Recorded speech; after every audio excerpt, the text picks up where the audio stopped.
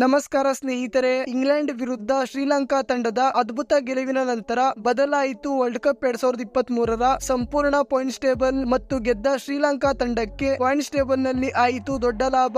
ಹಾಗಾದರೆ ಸಂಪೂರ್ಣ points table ಏನು ಎಂದು ಈ ವಿಡಿಯೋದಲ್ಲಿ ತಿಳಿಸುತ್ತೇವೆ. ಆದರೆ ಅದಕ್ಕೂ ಮುನ್ನ ಟೀಮ್ ಇಂಡಿಯಾದಲ್ಲಿ ನಿಮ್ಮ ಫೇವರೇಟ್ ಆಟಗಾರ ಯಾರು ಅಥವಾ ನೀವು ಯಾವ ಆಟಗಾರನ ಅಭಿಮಾನಿ ಎಂದು ಕಮೆಂಟ್ ಮೂಲಕ ತಿಳಿಸಿ. ಸ್ನೇಹಿತರೆ ವರ್ಲ್ಡ್ ಕಪ್ ಎರಡ್ ಸಾವಿರದ ಇಪ್ಪತ್ತ್ ಮೂರರ ಇಪ್ಪತ್ತೈದನೇ ಪಂದ್ಯವನ್ನು ಇಂಗ್ಲೆಂಡ್ ಮತ್ತು ಶ್ರೀಲಂಕಾ ನಡುವೆ ಎಂ ಚಿನ್ನಸ್ವಾಮಿ ಸ್ಟೇಡಿಯಂನಲ್ಲಿ ಆಡಲಾಯಿತು ಮತ್ತು ಈ ಪಂದ್ಯದಲ್ಲಿ ಮೊದಲು ಟಾಸ್ ಗೆದ್ದು ಬ್ಯಾಟಿಂಗ್ ಮಾಡಿದ ಇಂಗ್ಲೆಂಡ್ ತಂಡ ಮೂವತ್ಮೂರು ಓವರ್ಗಳಲ್ಲಿ ತನ್ನ ಹತ್ತು ವಿಕೆಟ್ ಅನ್ನು ಕಳೆದುಕೊಂಡು ಕೇವಲ ನೂರ ಐವತ್ತ ಆರು ರನ್ ಬಾರಿಸಿತು. ನಂತರ ಈ ಗುರಿಯನ್ನು ಬೆನ್ನಟ್ಟಿದ ಶ್ರೀಲಂಕಾ ತಂಡ ಅದ್ಭುತ ಬ್ಯಾಟಿಂಗ್ ಆಡುವ ಮೂಲಕ ಇಂಗ್ಲೆಂಡ್ ತಂಡ ನೀಡಿದ ಟಾರ್ಗೆಟ್ ಅನ್ನು ಕೇವಲ ಇಪ್ಪತ್ತೈದು ಓವರ್ಗಳಲ್ಲಿ ಬೆನ್ನಟ್ಟುವ ಮೂಲಕ ಇಂಗ್ಲೆಂಡ್ ವಿರುದ್ಧ ಎಂಟು ವಿಕೆಟ್ ಗಳಿಂದ ಗೆದ್ದುಕೊಂಡಿತು. ಹಾಗೂ ಶ್ರೀಲಂಕಾ ತಂಡದ ಗೆಲುವಿನ ನಂತರ ವರ್ಲ್ಡ್ ಕಪ್ ಎರಡ್ ಸಾವಿರದ ಇಪ್ಪತ್ತ್ ಮೂರರ ಪಾಯಿಂಟ್ಸ್ ಟೇಬಲ್ ಅನ್ನು ನೋಡಿದರೆ ಮೊದಲ ಸ್ಥಾನದಲ್ಲಿ ಭಾರತ ತಂಡವಿದ್ದು ಪಾಯಿಂಟ್ಸ್ ಟೇಬಲ್ನಲ್ಲಿ ಹತ್ತು ಅಂಕಗಳನ್ನು ಪಡೆದುಕೊಂಡಿದೆ ಮತ್ತು ಎರಡನೇ ಸ್ಥಾನದಲ್ಲಿ ಸೌತ್ ಆಫ್ರಿಕಾ ತಂಡವಿದ್ದು ಪಾಯಿಂಟ್ಸ್ ಟೇಬಲ್ನಲ್ಲಿ ಎಂಟು ಅಂಕಗಳನ್ನು ಪಡೆದುಕೊಂಡಿದೆ